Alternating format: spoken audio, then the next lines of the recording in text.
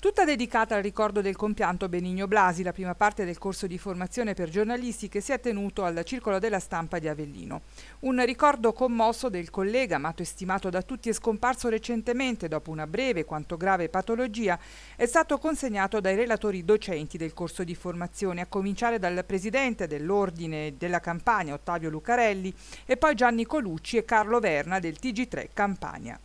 Ma di Benigno Blasi hanno parlato anche colleghi che con lui hanno vissuto buona parte del percorso professionale giornalistico.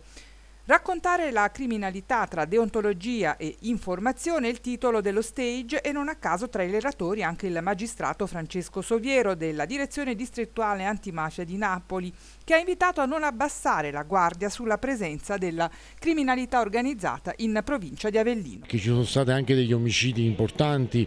eh, fisco 2013, anche 2015, eh, in Avellino in provincia, soprattutto in provincia di Avellino. Eh, bisogna anche tenere presente che quando si spara di me non è vero che la camorra o la criminalità sia a riposo, anzi eh, i traffici dilagano sempre di più, eh, sia il, la, il classici reati dell'estorsione, l'usura, ma anche il traffico di stupefacenti, il mh, controllo dell'economia legale, la possibilità di infiltrazione della pubblica amministrazione. Quando non si spara, anzi questa è una vecchia